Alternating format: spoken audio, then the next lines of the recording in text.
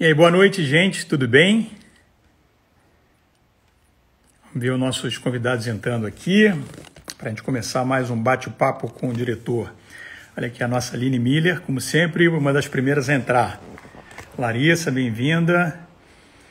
Ah, Cileia também está aqui.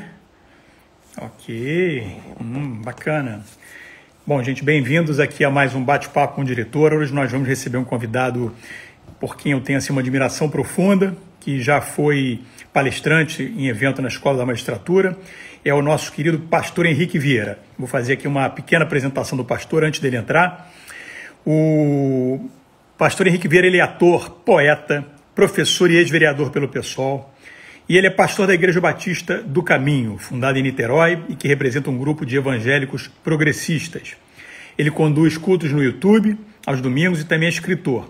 Ele escreveu a obra O Amor como Revolução, que nós vamos mencionar aqui, que na verdade é o tema da, do nosso evento, que foi lançado em junho do ano passado e que na verdade é, é de certa forma autobiográfico, parte da sua história pessoal, para falar sobre a relação entre religião e compaixão.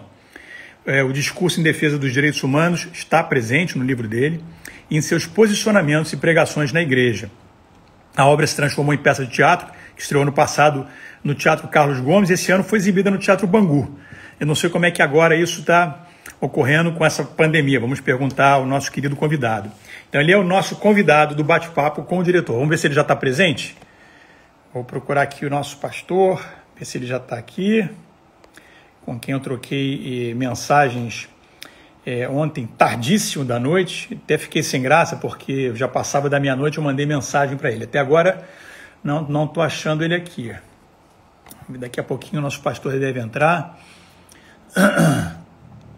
Mas o, é, o tema para mim é muito caro, porque nós vamos falar hoje sobre algo que a gente está precisando muito nos tempos atuais, que é falar de amor em um período de tanto desamor, de tanto ódio, de tantas mensagens de raiva pelas redes sociais e a gente acompanhando isso pela, pela mídia. Enfim, eu escrevi uma obra sobre isso, né? O problema do discurso de ódio. E esse é um tema que realmente para mim é muito caro, muito importante. Um período de tanto preconceito, de, tanta, de tanto desamor, eu acho que a gente tem que falar do amor né, que como solução, o amor como caminho. E, e, é isso que a gente quer. Olha aqui, o nosso pastor já está pre presente aqui. Eu vou chamá-lo. Bom, vamos começar o nosso papo.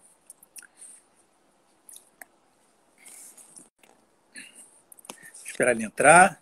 Ô, oh, meu querido pastor Henrique Vieira, que alegria recebê-lo. Tudo bem? Tudo bem, graças a Deus. E você? Também. Fiz uma brevíssima apresentação.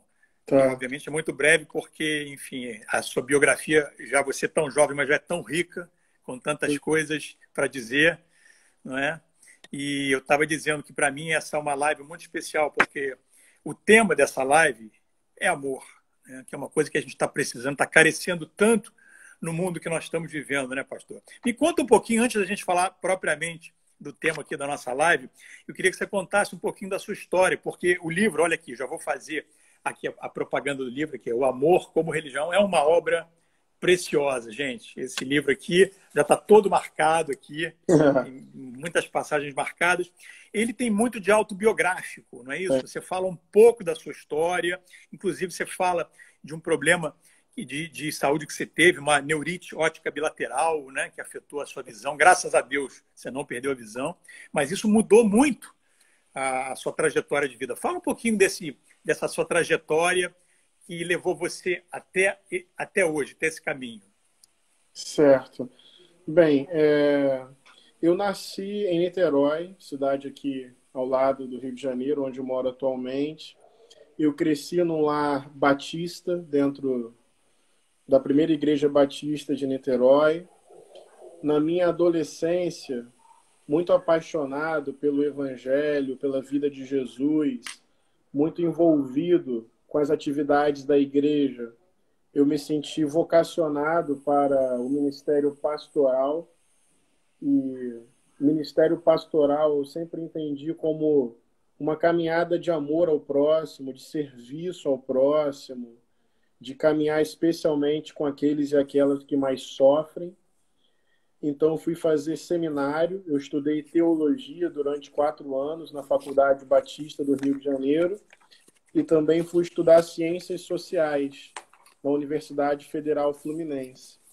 Então, me tornei pastor, me tornei cientista social, fui dar aula, me envolvi com a militância dos direitos humanos, com militância no movimento estudantil, passei a organizar a Igreja Batista do Caminho, que é a igreja que eu pastorio até hoje, uma igreja comprometida com respeito à diversidade, o diálogo interreligioso, o acolhimento sem qualquer distinção, procurando superar qualquer forma de preconceito.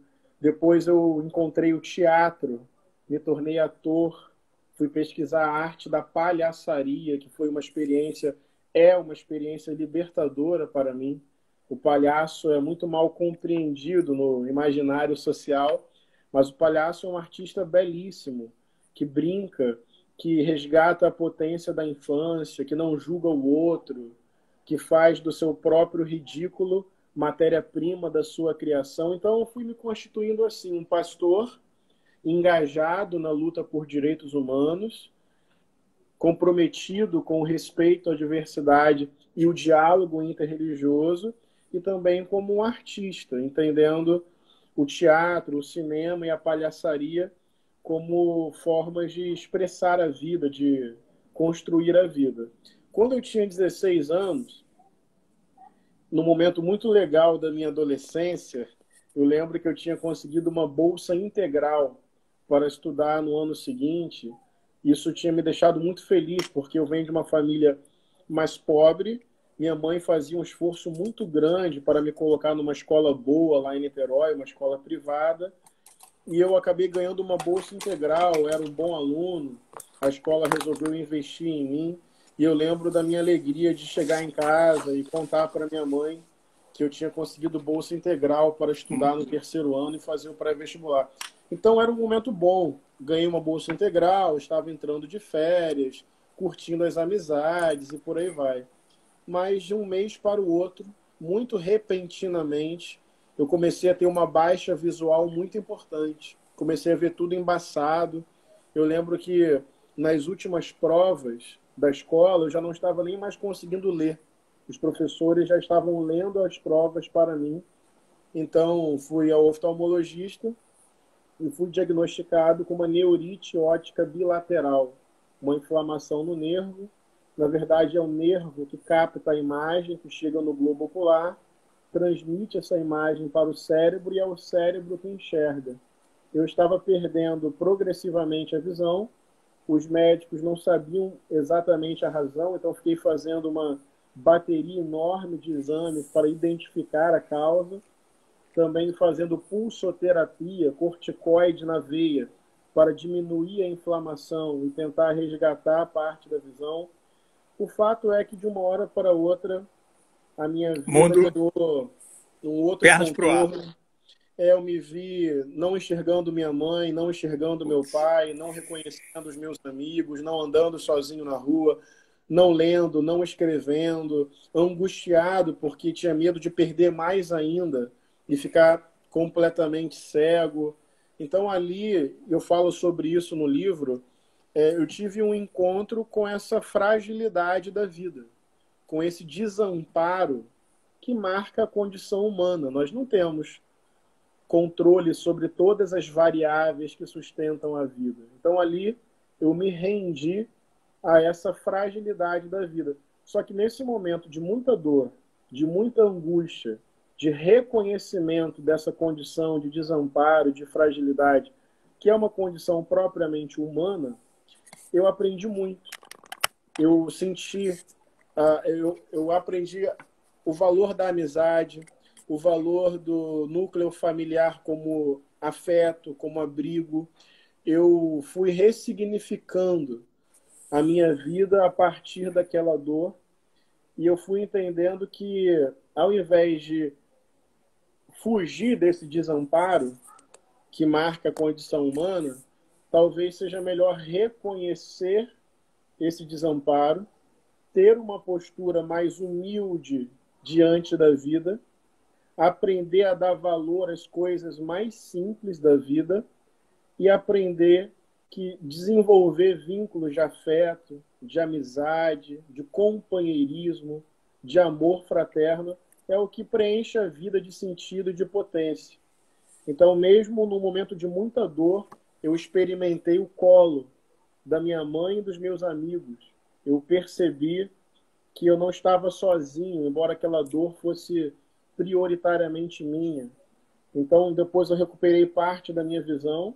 Eu não tenho uma visão normal até hoje, eu tenho uma baixa visual, mas eu recuperei bastante. Voltei a ler, voltei a escrever, voltei a andar sozinho, a reconhecer as pessoas.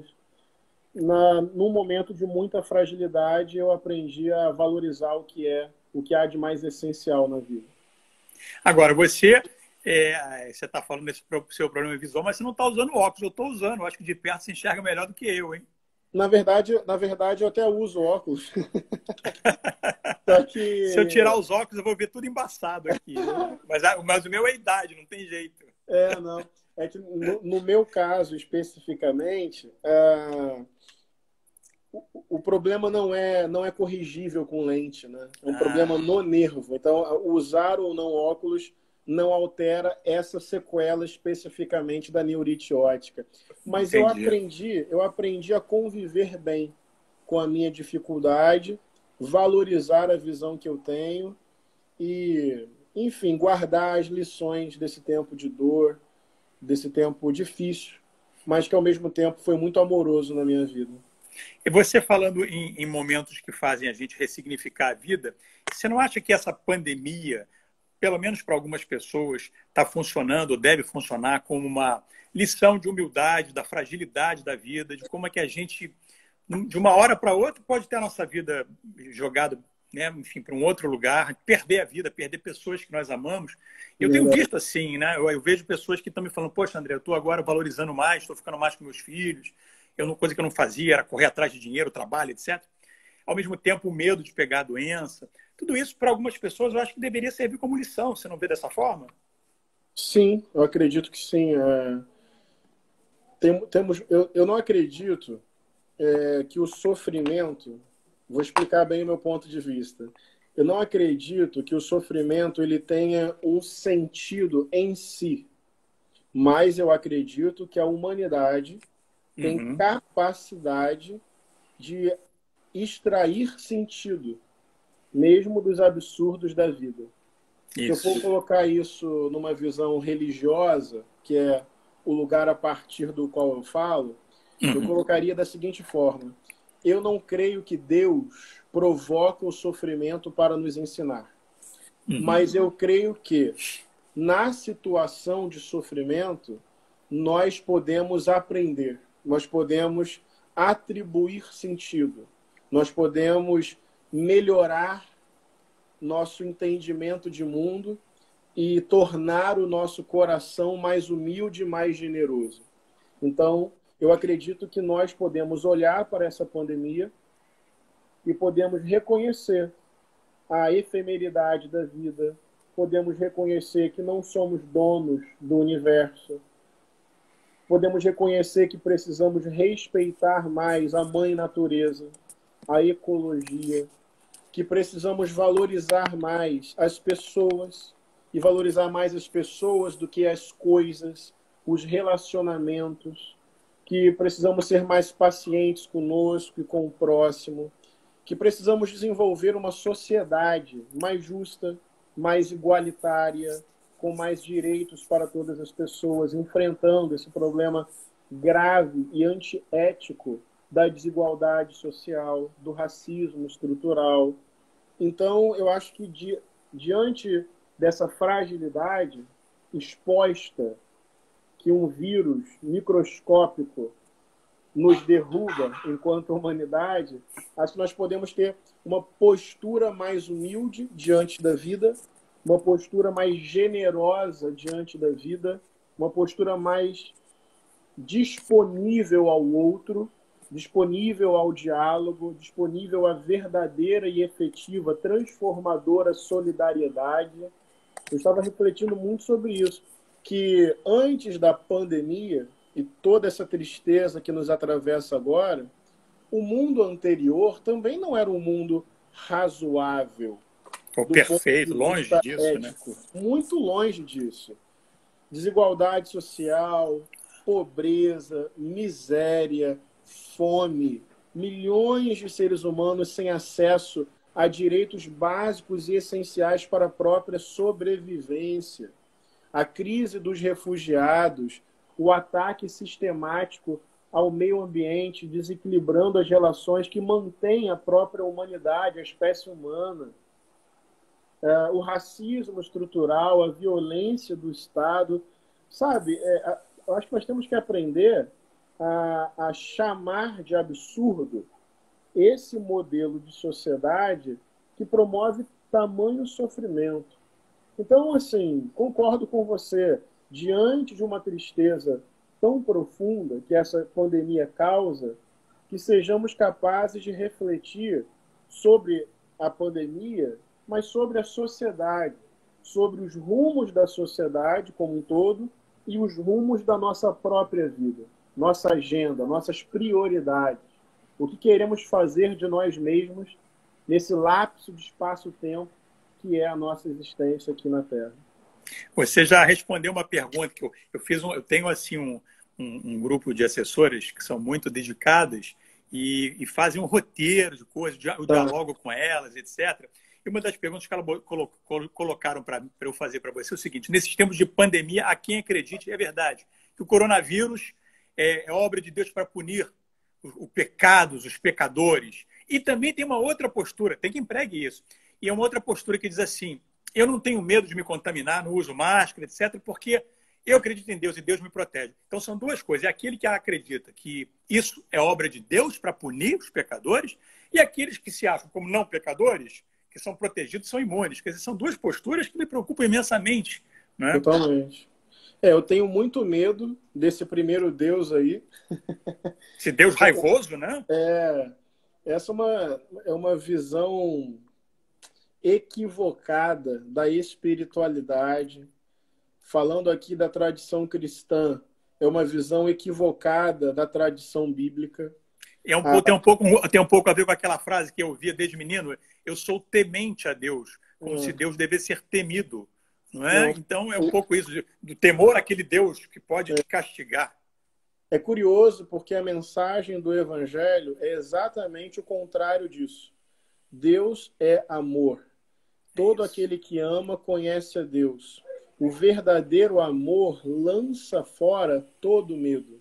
Ou seja, é, caminhar com Deus não é pelo caminho da culpa, não é pelo caminho do medo, não é esse Deus vingativo, esse Deus punitivo, esse Deus possessivo, esse Deus tirano. Na verdade, é, Deus, Deus é eterno. Nós somos seres históricos. É, então, a nossa visão sobre Deus é sempre uma visão condicionada historicamente. Eu creio, e esta é uma dimensão de fé, que a melhor maneira, a melhor maneira de perceber Deus é por meio da radicalidade do amor. Esse é o filtro interpretativo para perceber o movimento de Deus na história. E não estou falando de um amor sentimental, romântico, vazio de ética, de conteúdo e de consequência. Eu estou falando do amor que eu reconheço e identifico na vida de Jesus. E esse amor tem uma consequência ética e política, porque é um amor que se traduz no compromisso com o próximo, é o amor que se, que se traduz na defesa dos oprimidos, é o amor que interrompe processos de linchamento, de vingança, de punição. Então, é, a melhor maneira de perceber o movimento de Deus no mundo, na história, no tempo presente, é por meio desse amor ético que se entrega, que se doa, que tem solidariedade profunda, que chora a dor do mundo, que chama o mundo à justiça, à equidade, à verdadeira comunhão. Portanto, essa ideia de um Deus que pune essa ideia de um Deus que massacra a humanidade para promover o bem, é uma ideia contrária a uma espiritualidade profunda e amorosa e é uma ideia contrária à espiritualidade expressa no Evangelho e testemunhada por Jesus. A segunda também é absolutamente ilusória, não tem comprovação na vida. Basta olhar para a realidade e perceber que as pessoas sofrem, as pessoas passam por situações injustas. Pessoas as... maravilhosas, pessoas de, bom, de bom coração. O que, Crianças. É, o que você vai falar, por exemplo, para a família do João Pedro? Aquele menino de 14 anos brincando no quintal da sua casa, que é executado. Essa visão vai dizer o quê? Que Deus não estava ali, que Deus não estava protegendo, que se isso aconteceu é porque aquela família não caminha com Deus, é um absurdo. É. Esse tipo de raciocínio não encontra base na vida, não encontra base na realidade. E, novamente, disputando aqui o imaginário cristão, não encontra base na Bíblia. Homens e mulheres de Deus passaram por privações, provações, injustiças. Jesus de Nazaré chorou. Maior exemplo. Jesus de Nazaré passou por privações. Jesus de Nazaré, do ponto de vista histórico, teve um fim trágico. Ele foi preso, ele foi torturado, ele foi executado. Então, assim, dizer que porque caminho com Deus estou protegido não encontra respaldo na vida é uma visão, na verdade, injusta, com muitas realidades que se apresentam e também não tem coerência com a narrativa bíblica e com a vida de Jesus. O que eu consigo dizer do ponto de vista da espiritualidade, o que eu consigo dizer do ponto de vista da tradição bíblica é que Deus sofre comigo, é que Deus sente a minha dor, é que Deus chora as minhas lágrimas, é que Deus tem solidariedade com a minha condição vulnerável e de sofrimento. Mas caminhar com Deus não é uma vacina. Caminhar com é. Deus não nos imuniza. Perfeito. Caminhar com Deus não nos protege. Deus sofre comigo o meu sofrimento. Mas Deus não é uma senha que me impede de sofrer. Isso não tem respaldo na vida, não tem respaldo na Bíblia, não tem respaldo na vida de Jesus. O melhor que nós podemos fazer é, é usar a inteligência que Deus, inclusive, nos deu então, no limite, o acúmulo científico ao longo da história, dentro da minha visão, é dádiva de Deus. É Deus nos dando a possibilidade de conhecer e de interpretar o mundo e de desenvolver um conhecimento que seja bom para a humanidade. Também é bom dizer isso. Que a ciência sirva à causa da humanidade, ao bem da humanidade. Então, se todos os. É, se, se o acúmulo científico indica o distanciamento social, se o acúmulo científico indica o uso da máscara, a higienização permanente das mãos, não levar a mão ao rosto. Ora, eu vou usar esse acúmulo, fruto desse conhecimento, conhecimento que é uma possibilidade humana dada por Deus, vou usar esse conhecimento com muita responsabilidade para o cuidado comigo, para o cuidado com o próximo. Isso, na minha opinião, é uma espiritualidade consciente, consequente, generosa. Até porque quem diz assim, não vou pegar a doença e sai por aí sem os devidos cuidados, não está colocando em risco só a si, também está colocando em risco outras pessoas. Porque sem máscara, essa pessoa pode ser uma agente transmissora do vírus. Então, uhum. na verdade, está faltando amor ao próximo. Que espiritualidade Perfeito. é essa do poder, do, da imunidade e da falta de compromisso com o próximo, da falta de amor com o outro. Porque a pessoa mesma pode não desenvolver o sintoma, mas aquele espirro ali pode ser, chegar a uma senhora que vai morrer. Então, usar a máscara é uma atitude responsável, consequente, de cuidado consigo e cuidado com o próximo. Isso me parece uma espiritualidade mais consequente, mais amorosa. Essa fala é maravilhosa, pastor, porque você, de uma forma sempre precisa, como, como é característica sua, típica sua, você conseguiu mostrar que não existe nenhum tipo de é, cisão entre a espiritualidade, a religiosidade e a ciência, por exemplo. Porque, afinal de contas, se, se o homem foi criado à imagem e semelhança de Deus, e se o homem ele é dotado de razão, de racionalidade, é porque a razão e a racionalidade fazem parte de Deus. A ciência também é algo que vem de Deus. De modo que negar a ciência, como a gente vê muitos líderes políticos fazendo, governantes fazendo, e, e, e governantes que invocam o nome de Deus, né? que colocam, dizem Deus acima de tudo, não é? Ou, ou acima de todos. É, é, uma, é uma contradição absurda, porque negam algo que é, ao fim e ao cabo, obra de Deus, que é a razão que foi dada ao homem para poder enfim, caminhar no mundo, resolver os problemas do mundo. Perfeito isso. E, e, e a coisa da máscara também, que a gente usa para nós, a gente usa para os outros também. Isso é fundamental. Eu queria te perguntar um pouco sobre a, esse conceito de amor que você é, menciona no, no, seu livro, que você explora no seu livro.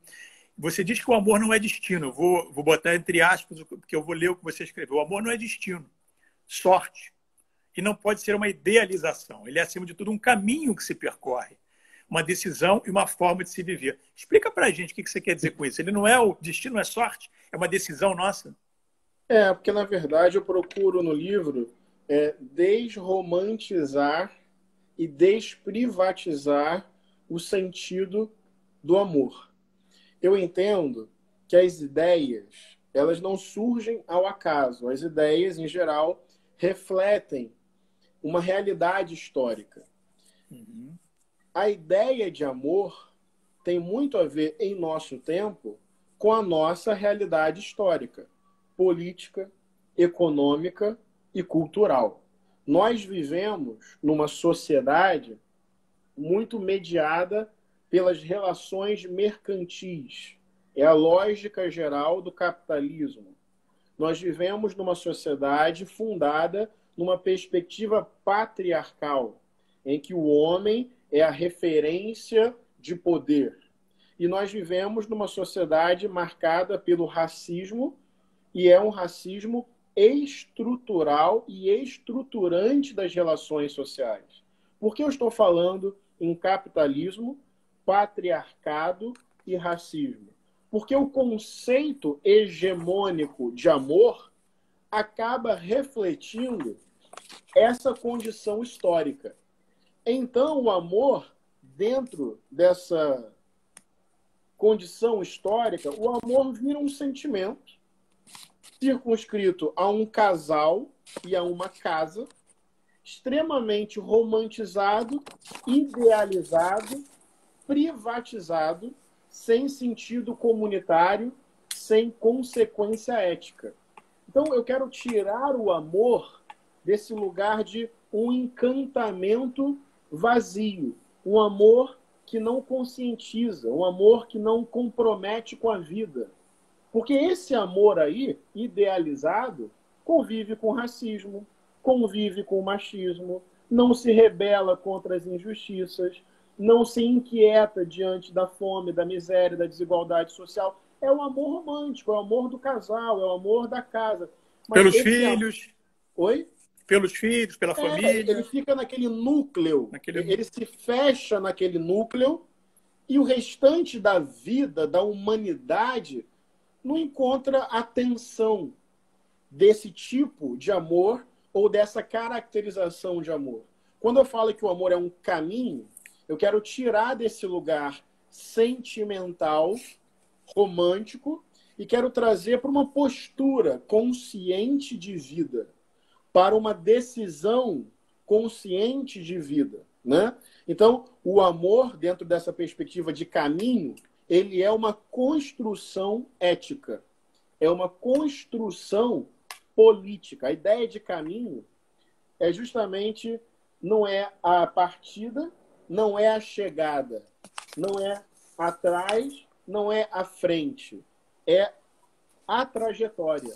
Amar é traduzir o amor em atitudes que, de alguma forma, transformam a vida das pessoas para que as pessoas sejam mais potentes, sejam mais felizes. Tem uma escritora norte-americana chamada Bell Hooks. Ela uhum, debate fantástico. gênero, raça é, e classe.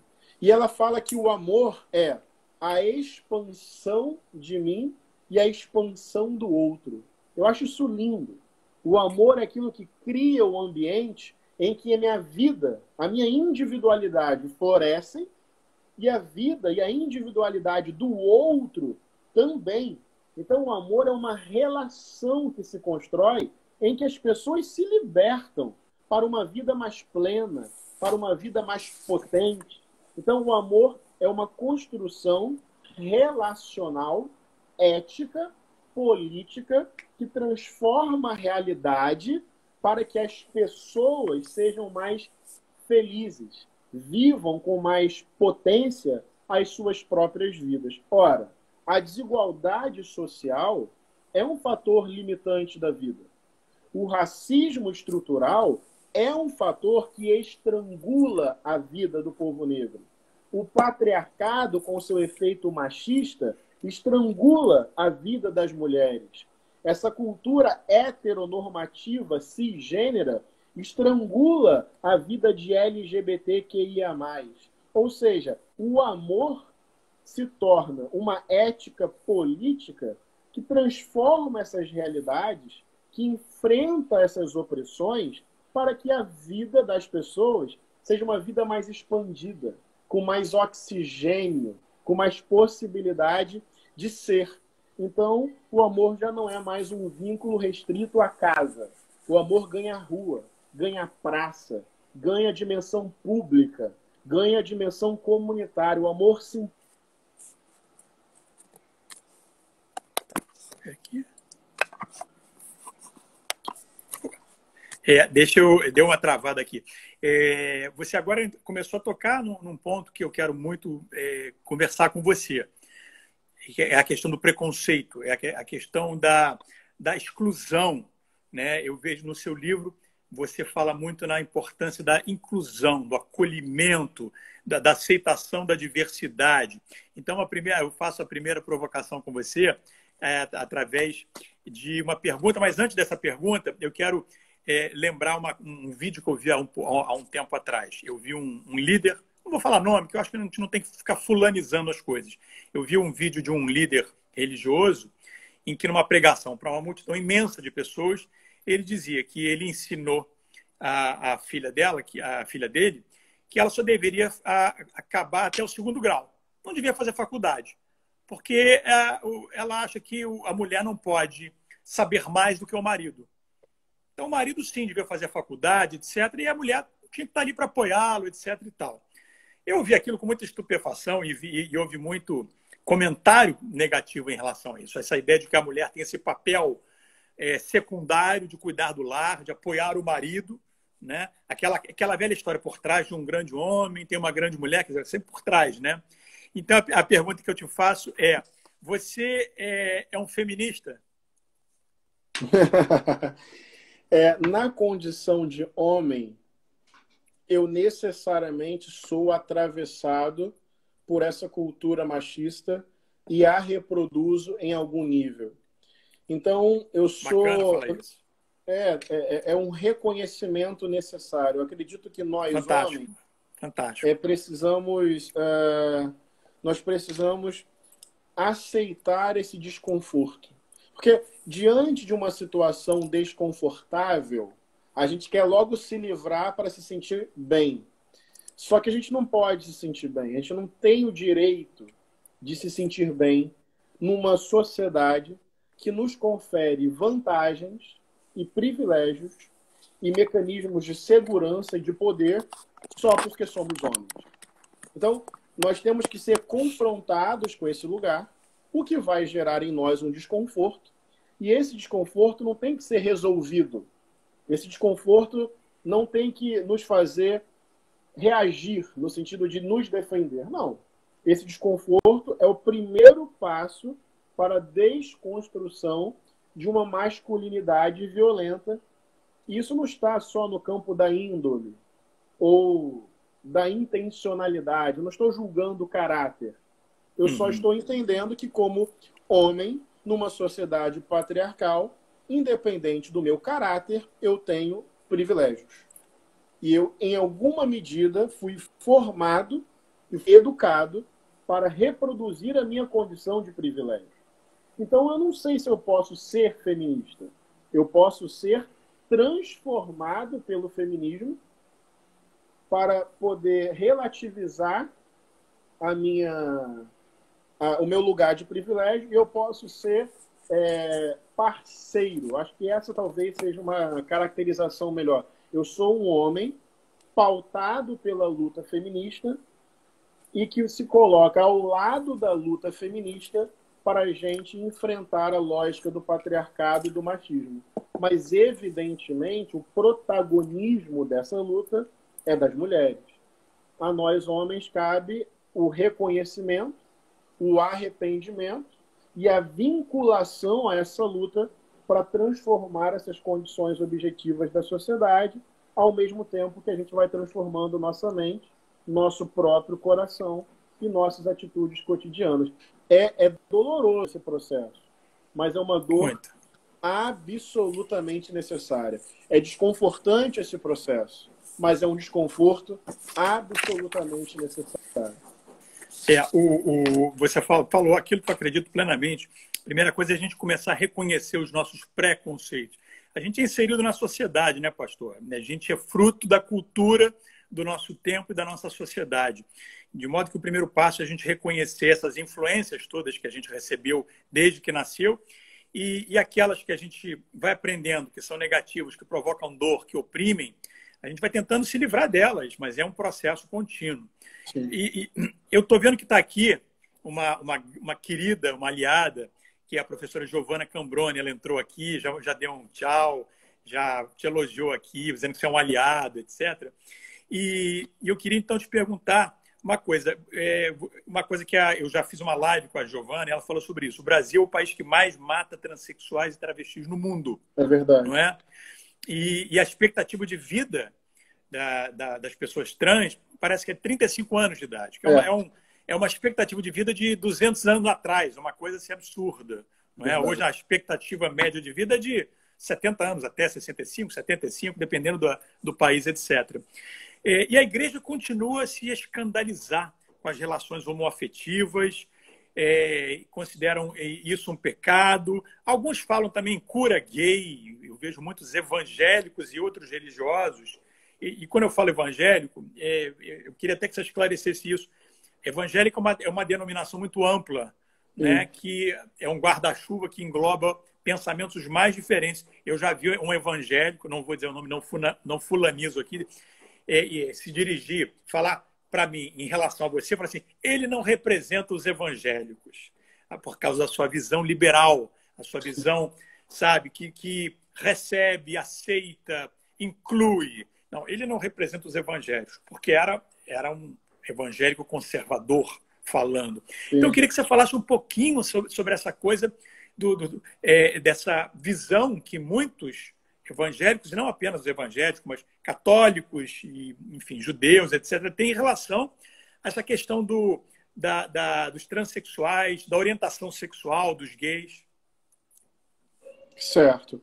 Bem, primeiro, o campo evangélico de fato é muito diverso.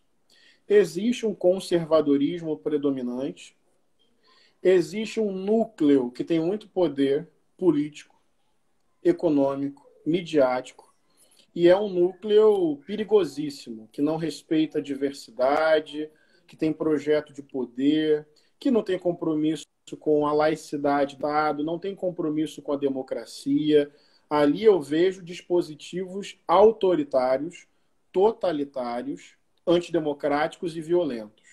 Agora, o campo evangélico é plural, tem múltiplas experiências, tem movimento negro evangélico, tem movimento feminista evangélico, tem movimento de diversidade sexual e de gênero evangélico. E existe uma experiência evangélica também que é popular, de trabalhadores e trabalhadoras que têm a sua fé em Jesus e com muita humildade e força lutam para sobreviver. Portanto, o campo evangélico é um campo plural, multiforme. A pessoa que falou isso disse que eu não represento campos evangélicos, nem ela representa, porque o campo evangélico não é representável por um indivíduo. É isso. Porque é isso. não é tem plural. um Papa evangélico. É, não existe. O Papa é católico. Então, é. exatamente. É. Então, o campo evangélico é um campo plural e o setor conservador não é unânime. É muito importante dar visibilidade a essa diversidade que existe no campo evangélico. Sobre o outro assunto, eu lamento profundamente uma visão dogmática e fundamentalista que pega dois, três textos da Bíblia, isola esses textos, descontextualiza esses textos, monta um modelo de sexualidade que não dá conta da vida, que não dá conta da experiência humana e que não dá conta da experiência histórica. Aliás, a própria Bíblia, se a gente for ler, não dá para extrair da Bíblia um modelo único de família. Tem várias experiências diferentes, em contextos históricos diferentes, de família na própria Bíblia. Então, essa visão que pega o texto e praticamente idolatra o texto é uma visão que fecha o entendimento. É uma visão que bloqueia a sensibilidade. As pessoas ficam apegadas ao texto como se isso fosse a defesa de Deus. Mas esse apego acrítico e irrefletido ao texto sem contexto, na prática significou ao longo da história e significa ainda muita violência. Tem muito sangue no chão com o texto bíblico debaixo do braço porque as pessoas ficam frias e indiferentes. Então, quando você me fala, e eu tenho realmente conhecimento dessa estatística, que esse é o país que mais mata transexuais e travestis no mundo, isso deveria escandalizar a igreja. Quando a gente sabe que a expectativa de vida de uma trans, de uma travesti é de 35 anos, isso deveria escandalizar a igreja. Saber que existem pessoas que entram em depressão e que têm vontade de se matar, porque foi colocada sobre elas o rótulo do pecado, isso devia escandalizar as igrejas. Saber que mulheres são violentadas dentro da própria casa, em casamentos heteronormativos, isso deveria escandalizar a igreja. Ou seja, Jesus não está preso no texto. Jesus está aparecendo no rosto e no corpo daqueles e daquelas que sofrem. Eu estou vendo o corpo de Cristo crucificado mais uma vez no corpo das transexuais e das travestis. E eu vou justificar isso, sabe onde? Na própria Bíblia, no próprio Evangelho. Porque Jesus não se apegou a dogmas. Jesus se apegou à dignidade humana. E Jesus disse que nós o encontraríamos no rosto daqueles que sofrem. Quando tive fome, me deram de comer. Quando tive sede, me deram de beber. Quando estava nu, me vestiram. Quando estava preso ou hospitalizado, me visitaram. Quando não tinha uma terra, vocês me acolheram. Mas, Senhor, quando foi que te fizemos isso? Jesus responde lá no Evangelho de Mateus, capítulo 25. Quando vocês fizeram a um destes meus irmãos, vocês fizeram comigo, vocês fizeram para mim. Que imagens são essas que o texto aponta? São imagens de pessoas em situação de sofrimento por causa das injustiças humanas. Então, na verdade, seguir a Jesus significa se comprometer prioritariamente com as pessoas que são alvo de uma violência e, e que por causa disso sofrem. E por fim, tudo aquilo que é vivido em amor, aquele amor ético, aquele amor relacional, aquele amor que me expande, que expande o outro, tudo que é vivido em amor tem assinatura de Deus, tem cheiro de Deus, tem presença de Deus. A igreja, no geral, devia se escandalizar com o fato de que mulheres ainda são violentadas, de que travestis são apedrejados, de que gays entram em depressão por causa da própria igreja. Isso que devia causar escândalo, arrependimento e uma postura verdadeiramente espiritual, aquela que celebra a diversidade, que acolhe a diversidade, que respeita a experiência das pessoas e que promove um ambiente de amor. E, e sabe, até o conceito de inclusão, se você me permite, só para concluir. Por favor, claro. É, até o conceito. adorando. Até o conceito de inclusão, eu estou refletindo melhor sobre ele, sabia? Sabe por quê? Vou te explicar. Hum. Porque dependendo de como a gente interpreta o conceito de inclusão, sabe o que parece? Parece hum. assim, ó. E aí eu estou refletindo sobre o meu próprio texto. Estou melhorando os meus conceitos, entendeu?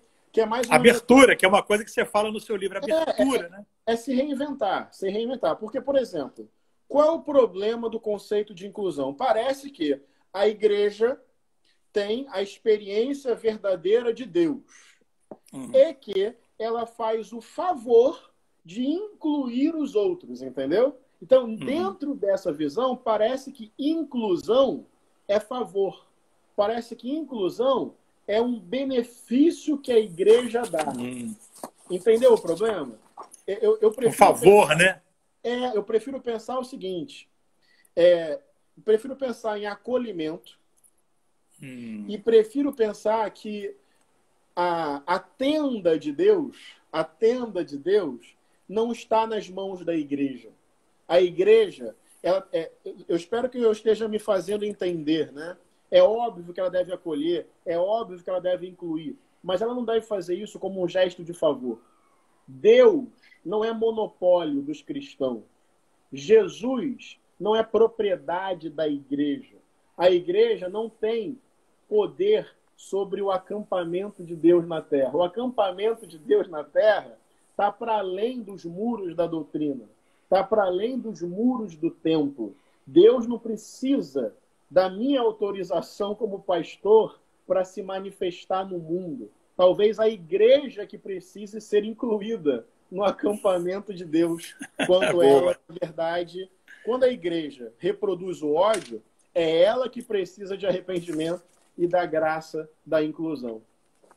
Bacana demais, bacana. E aí, para a gente fechar esse círculo aí do que a gente fala do preconceito, das ideias preconcebidas, nós vemos hoje ah, um movimento é, muito grande é, de combate ao racismo nos Estados Unidos em função de, um, de uma tragédia, de um acontecimento, George Floyd, enfim, um negro americano, que foi vítima da, de, uma, de um ato de brutalidade da polícia, né? um policial, enfim, botou o joelho no pescoço dele por não sei quanto tempo, quase nove minutos, etc. Ele morreu sufocado. E a partir daí, então, várias manifestações estão surgindo. Eu, eu achei muito interessante que um, eu não sei se foi o Will Smith, foi um, de, um ator, uma personalidade negra americana, que ele, ele, diz assim: nós não temos mais racismo hoje. É que o racismo hoje está sendo filmado. É, foi o, o racismo sempre existiu. E eu, e, e eu diria mais: eu diria que no Brasil a gente tem um George Floyd por dia. Isso que aconteceu lá, aqui todo dia nós temos um George Floyd. O racismo é uma coisa que está muito entranhada na sociedade brasileira. A democracia racial é um mito no Brasil, nunca existiu. Né? E, e eu acho que é, muita gente que comete crime de racismo, crime de ódio, muitas vezes faz invocando o nome de Deus, como você falou, com a Bíblia debaixo do braço. Quer dizer, uma deturpação da mensagem de Deus, que é uma mensagem que é só de amor, e da Bíblia é só de amor. Se alguém que se fala, fala cristão, eu quando eu ouço a, a ideia de Cristo, para mim Cristo é só amor. Então eu não sei como é que alguém pode se incomodar tanto com a sexualidade das pessoas, se preocupar tanto com a cor da pele, se preocupar tanto com o gênero, quando, na verdade, isso aí é, é, o, é, o, é o, contrário da mensagem cristã. Né? Quer dizer, eles preferem se apegar em uma, talvez uma passagem, como você falou, que tem um contexto histórico, mas que não é, não é o que permeia a a, a, toda a história de Cristo, por exemplo, que é toda uma história de amor. Como é que você vê hoje essa questão do, do, do racismo aqui no, no, Brasil, no mundo? Como é esse movimento todo? Eu, eu, gosto muito da ideia de que não basta você não ser racista, né? É. é o primeiro passo, mas você tem que ser antirracista, né? Fala Sim. um pouquinho sobre isso. Não, perfeito. É, é o que nós temos dito, né? O racismo, ele é estrutural. Ou seja, o racismo não se explica apenas pelo comportamento dos indivíduos. O racismo não se explica apenas pelo comportamento de grupos, O racismo não se explica também exclusivamente pelo funcionamento das próprias instituições, porque, na verdade, é uma coisa mais profunda. Indivíduos, grupos e instituições, em certa medida, refletem e respondem a uma estrutura social. Por isso que o racismo é estrutural e estruturante das relações. Ele não é uma patologia, ele não é um delírio. Ele é, por, por mais incrível e por mais chocante que isso seja, ele é a racionalidade moderna em pleno funcionamento. Porque a modernidade foi fundada numa perspectiva eurocêntrica que legitimou a colonização, o neocolonialismo uhum. e tem é, legitimado múltiplas formas de violência. Como Silvio Almeida coloca muito bem, o racismo Grande está intelectual. na estrutura econômica, na, na estrutura política, na estrutura do direito e também no imaginário social, na ideologia. Portanto, o funcionamento automático, digamos assim, da nossa sociedade é um funcionamento racista. O tempo inteiro existe aí uma hierarquização da humanidade por uma lupa racial que dá ao povo negro e ao povo indígena no Brasil o estigma da culpa. Eu costumo dizer isso, que o corpo negro é culpado até que se prove o contrário, uma inversão de um princípio fundamental da democracia. Né? É, tem aí um status de sub-humanidade, de sub-cidadania, de ter que provar a sua competência, provar a sua bondade, provar a sua validade, provar o seu direito de existir. Então, na prática, isso significa o quê? Morte morte em vida e morte da vida. Morte em vida, o que eu chamo de morte em vida, é porque o racismo gera constrangimento, o racismo gera humilhação, o racismo gera baixa autoestima, o racismo gera ameaças e intimidações, o racismo gera é, processos discriminatórios. Né? Então, é, o corpo negro, aquele corpo que acorda para provar o seu direito de viver. Isso é uma forma de morrer vivendo, porque o seu potencial de vida fica estrangulado, fica asfixiado por uma realidade racista, né? E a morte da vida. E aí foi o que você falou. É toda uma lógica, né, que naturaliza a morte do corpo negro. O genocídio da juventude negra é o exemplo mais visível. A violência obstétrica contra mulheres negras é uma outra dimensão disso, desse, do racismo chegando ali na, na, na fatalidade, na, mas na fatalidade previsível. Isso que é louco. E eu costumo dizer o seguinte: é mais absurdo que o absurdo é quando o absurdo deixa de ser absurdo. Naturalizado, né? É. O racismo ele é o funcionamento da sociedade e ele é a naturalização desse funcionamento. E daí entra a dimensão da meritocracia e fecha de vez o circuito racista. É. Porque aí você não pensa mais sobre injustiça, não pensa mais sobre desigualdade, você pensa sobre os indivíduos. Então você começa a justificar uma situação grave pela competência ou não dos indivíduos, né? Mas eu concordo com o seu ponto de vista. O racismo é, no Brasil ele é tão escancarado. não concordo com a ideia do racismo velado, não. É, é, um, é um outro movimento. Ele é tão escancarado que se torna naturalizado. É, ele é invisível para os sentidos, né? É, ele é, é tão visível que se torna invisível. É né? isso, é isso, é isso. É, ele é tão absurdo que se torna comum. É, é, é um, é, é, um crime perfeito. É, um exatamente. Crime, porque é um crime que não parece mais crime. Entendeu? Isso é.